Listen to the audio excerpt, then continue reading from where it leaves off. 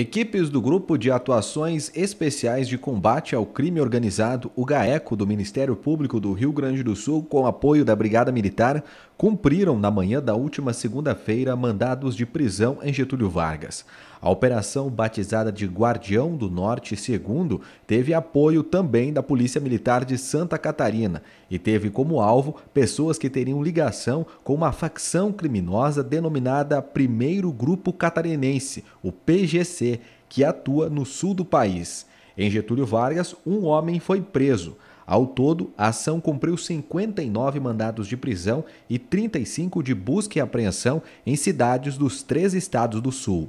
A facção, além de tráfico de drogas, seria atuante também no tráfico de armas, roubos, furtos, homicídios e outros crimes.